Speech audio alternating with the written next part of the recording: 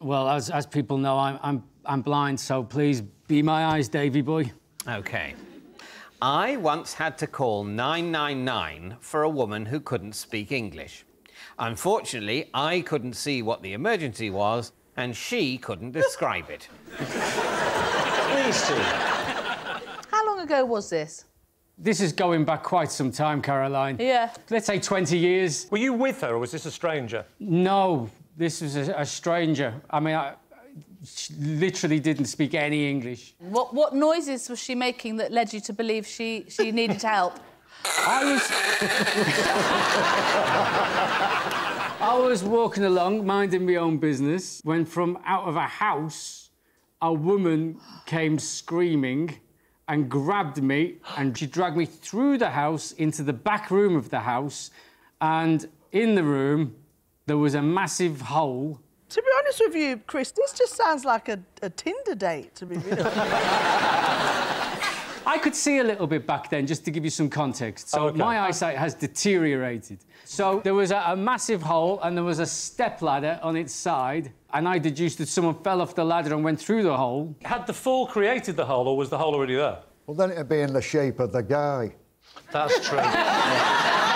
That is Very right. good point. That is right. I forgot about the, the rules Tom of and Tom and Jerry. So I phoned 999 and I explained to the person on the end that my eyesight was very, very poor and I wasn't able to tell what was at the bottom of the hole. And so the person asked on the phone whether I was with anybody that could see who who was at the bottom of the hole. And I said, yeah, but you're not going to believe this. So what, so what happened? I said, I, I'd imagine what you need is a fire engine and an ambulance. And also, I guess you didn't know the address. I told her, I don't know the address, but I can tell you to get here from the Waitrose. she suggested that I take the foreign lady outside to the road sign and, and see if I could get her to spell it for me. And so, through a series of um, enthusiastic mimes, I managed to gesture to her that I needed her to read me the letters on the road sign. Could you recreate the mime with David as the distressed woman? oh. I'm doing a distressed face. Oh, well, that, that helps. Yeah. Um,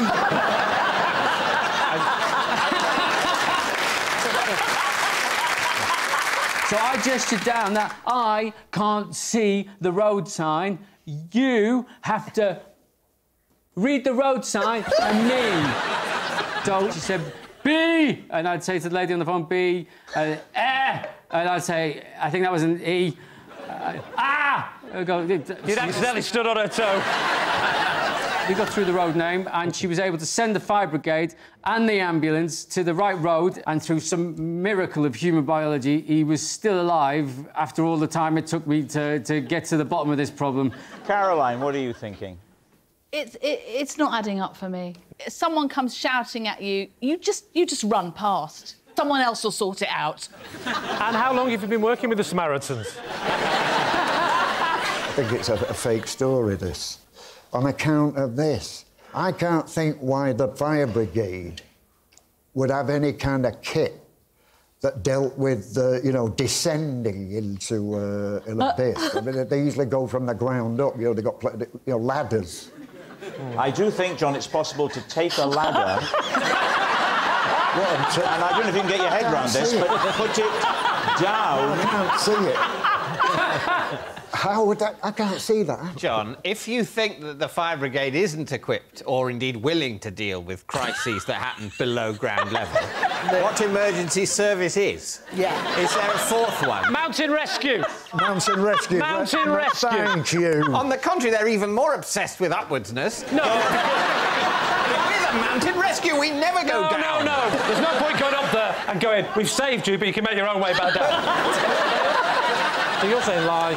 Lie. They're both saying lie. I'll go with my teammates You're going to go with the team. Yeah. They're saying it's a lie. Chris, truth or lie? I honestly had to get her to spell the road sign out to me guys true It's true. Chris did call 999 for an emergency he couldn't see. I eat an apple a day in a very particular way. All right, Lee's team. How long have you eaten an apple a day? Oh, uh, maybe, mm, probably coming up to a year, nine, ten months, maybe. Ten months. So what is this particular way? Well, the usual way to eat an apple. They don't need to cover that, we know. Well, I mean, Stephen's from Scotland. He mightn't be aware of eating fruit. so, but if you, you go in through the side and you eat around the core, Yeah. and then you put the core in the bin. Yeah. You're not going to tell me you eat the core first, because we're not going to believe you. No, I, I do eat the whole thing because I read from a very reputable news source that um, 90% of the goodness is in the core. 90% of, the goodness of an apple, all the benefits. is that little bit in the middle. In the middle, that's where all the goodness is, all the benefits. It does so much for Does your it? health. I've been chucking the core to the dog. The dog now is an Olympic athlete. explains it. So, Chris, you eat the apple, and where most of us then would be left with the core and would discard it, you you just carry on. No, no, no. The way that everyone eats an apple is, is fundamentally wrong. so you don't go in through the side. You need to go in through the bum. From the opposite end to the yeah. stalk. So if you go in through the bum, you don't notice the core because it's distributed equally amongst sweet, juicy apple. So you don't notice all of the goodness. What the hell are you talking about? I mean, if you eat an apple from the side and you're left with the core, all you've got is core. But if you eat it through the bum, up Yeah. that way, you're getting a little bit of core. Why don't you eat it through the side but just keep chewing through the core? Because. Because then it's just core at the yeah, end. because then now you've I'm got to involved. go right through the middle. Oh, you've got to go through the ride through the core before you get back to apple again. Whereas if you eat the bum end, Yeah. you're taking more apple each bite. Yeah. Who told you that the core is the best part of the apple? I don't want this to detract from the authenticity of the story in any way, but it was on Apple News. It was Apple News? Apple News, as in the tech company. Oh, I see. I genuinely thought you subscribed to an Apple newspaper. Do you know what, Lee? As well, you would be amazed. Two years ago, I found out that I'd been eating a banana upside down my whole life. What do you mean upside down? Your instinct is you get the stalk and you snap the oh, stalk. Oh yes. Yeah. Now, and if you open it the other way, it But if you looks hold on to more. the stalk it's and then more just- pleasing, isn't it? Yeah, you hold on to the stalk and twist the nipple. And Well, hang on. How can that be the wrong way? You're still eating the whole banana. because if you bend the stem, you run the risk of mushing the end of the banana. So what I'm saying is, Lee, if you eat an apple from the bum, there's so many benefits. apparently. What's the benefit? Everything except for curing blindness. so So, um, what are you going to say? Truth or lie? I'm not buying that. You're not buying it? No. You're buying it? No. I'm not having that. With Say your apple lie. nonsense. Okay, Chris. Truth or lie? I'm, I'm here to change the world, Rob. It's true.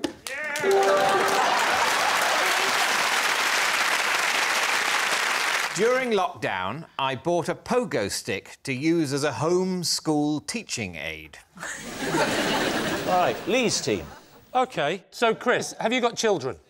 Um, just the one. And this was for, what, your homeschooling PE or something? Yes, when we did homeschooling, we split up the tasks. I, I was in charge of PE and maths, and my wife was in charge of reading and art for obvious reasons. At what age is your child? During lockdown, she was six. And do you do anything else for PE or just pogo stick? I'm quite a lazy guy, Lee. So I realised that when you're on a pogo stick and you're bouncing away, what you're trying to do is see uh, how many you can do. How many repetitions without touching the ground? Yeah, and maths You have is to also... touch the ground, Lee, to be fair. Otherwise, otherwise it's levitating, which we still haven't mastered. I appreciate you said it for comic effect, Rob, but you know exactly what I meant. Well, what I try to do is I, I, I, realised that how many is also what, what you do often in maths. And I could consolidate all of my teaching efforts into one tidy little package of minimal effort. so I invented Pogo Maths. OK. And um, you just shout out some sums and they have to bounce out the answers. But are they experienced in pogo sticking? Because it's quite hard. Well, I mean, it does help if you can use a pogo stick first, so you have to get over that hurdle, but that's, you know... You have to get over a hurdle as well. I appreciate you said that for comic effect. Thank you, Rob. I did. We have a pogo stick. Yeah, well, it's, And- it's Chris's card. Make him do it. I don't think the BBC's got enough money to cover the insurance on this.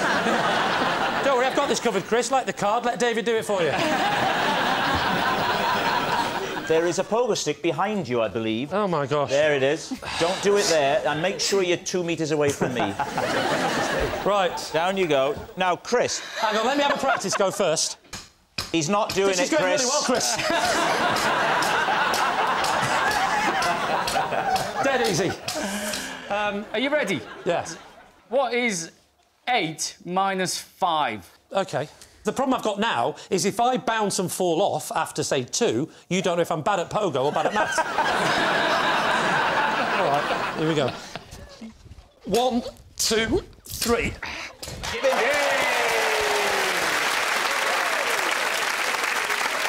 Well, this is this is this is good because you've got to get them all right if you want to do dinner tonight. Um, So let's just see how many I can do. Yeah, let's see how many you can do. I'll Just try and jump point. up onto that. How about that? Don't, don't do it, Lee, don't do it! One, Oh, no, two, don't do it. three, four, Don't- five, Don't six, seven. Oh! I've got no idea what's going on. So, having experienced it, Yes. do you think he's telling the truth? What do we think? I didn't know they still did pogo sticks. Oh, yeah, yeah, yeah. yeah. Oh, yes. Imagine how hard you could hit the ball with a spring-mounted snooker cue. I mean, there's... That's a good point. yeah. So, what are you thinking about this story? The more I think about it, the more I think it wouldn't work because the white ball's going to spin back. No, no, not no. I- We're talking now about the maths and the pogo. Do you reckon it's true? I think it's true that Chris is, is lazy. I'm not really blind. It just gets me out of doing things. I, listen, tell me about it, mate. I do it all the time myself. How do you think I park so close to Sainsbury's? I think he's lying. You think he's lying? I think he's lying as you well, You think he's mate, yeah. lying? Well, we'll go with my team and say he's lying. Okay, saying it's a lie. So, Chris, maths on the pogo stick. Was it true or was it a lie? Pogo Maths, copyright Chris McCausland 2020. True. Oh! Yes, it's true.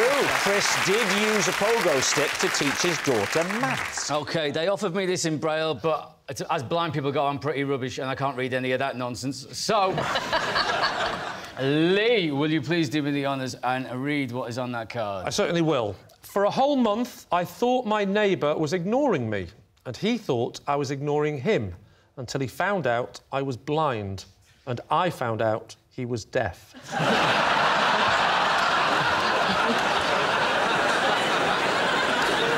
David's team.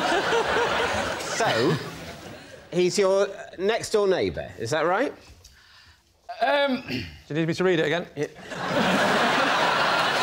he's my neighbour, David. Right. Um, there's three flats. I live in the middle and he lives on the bottom. And who lives upstairs? A policeman. And, and it's And he can't speak.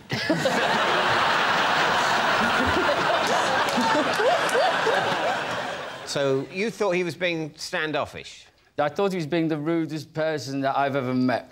I was there, for example, on the day that he moved in, and I said hello to him, and he completely ignored me. Maybe he didn't. Maybe he went. Well, I don't know what you're doing, and that...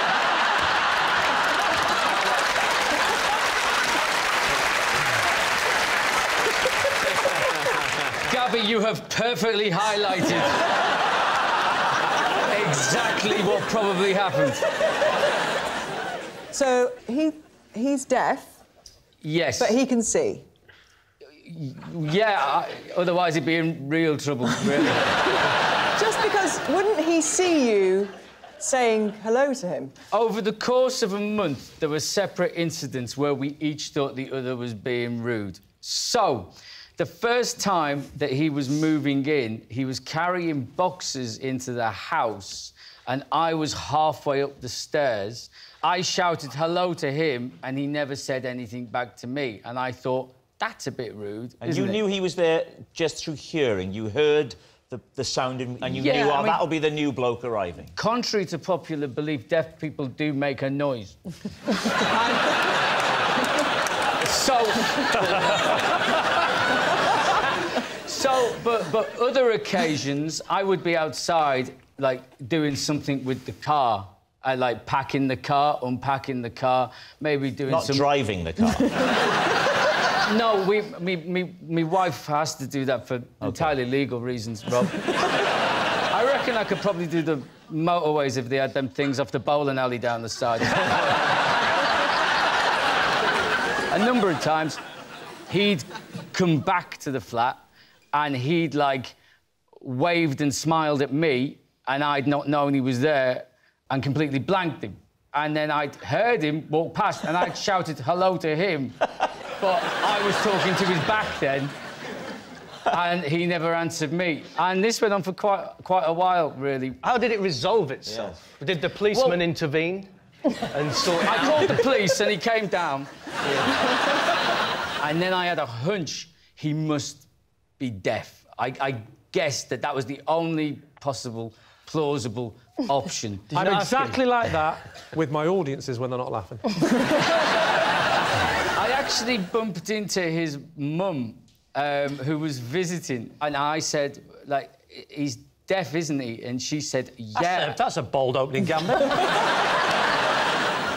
we have each other's mobile numbers now, and um, so we're able Hang to on, send... let me think about this for a second. How, does he answer the phone? We, we, we have text messages, Lee. Right, you know the next question, don't you?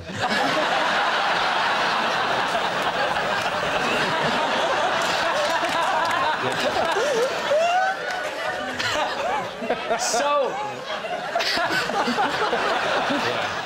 My phone talks, it reads everything out. And if, I, I, and, and just to give you an, insight, even the emojis, if you use an emoji, it tells you what the emoji is. And the smiley face, the one that the main smiley hmm. face, specifically for blind people, that one is called smiling face with normal eyes. Yeah.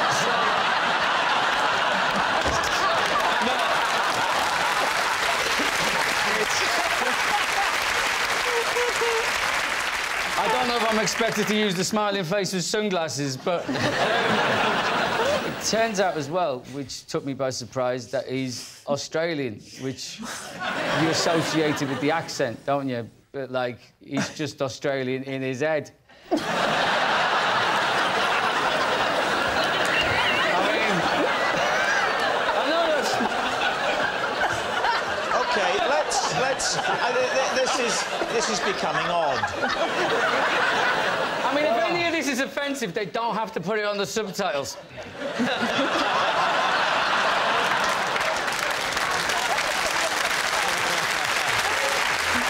John, what are, you- what are you thinking? Well, I'm thinking, I don't know, I don't believe it. I don't you believe think he made that up? What do you think, Gabby? There's lots about it that I don't think is true. I believe it. I believe it, but I. You I'm, believe I'm it, not, they don't. No, I'm not. I'm not going to overrule my team, no. No, no, No, you haven't got the strength of character. I do. Uh, I don't, I don't feel strong enough about, about it to overrule No, I mean, it. it is plausible, it is plausible. OK, we're going to say true. Right, they're saying it's true. Chris, truth or lie? It is 100% true.